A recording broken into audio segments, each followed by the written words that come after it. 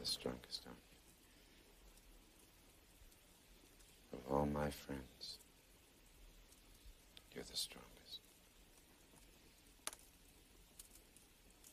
Judas, my brother. There's something to tell you.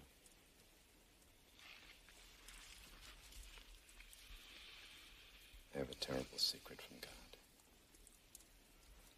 You know why I came to Jerusalem? This is where the revolution is going to begin. Last night Isaiah came to me.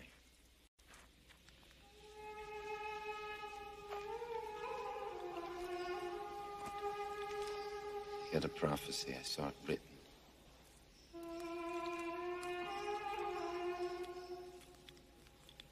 It said, He has borne our faults. He was wounded for our transgressions, yet he opened not his mouth.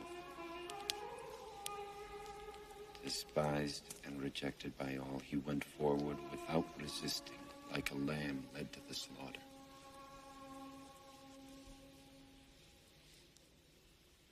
Hmm.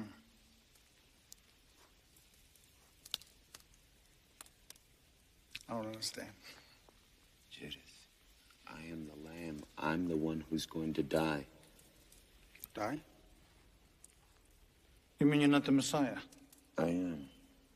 That can't be. If you're the Messiah, why do you have to die? Listen, at first, I didn't understand myself. Now you listen. Every day you have a different plan. First it's love, then it's the axe, and now you have to die.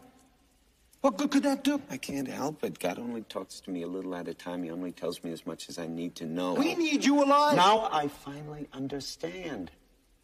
All my life, all my life I've been followed by voices,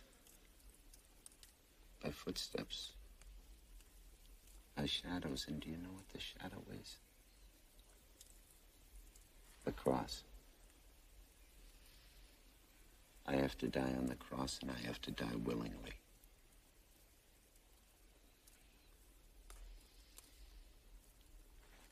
We have to go back to the temple.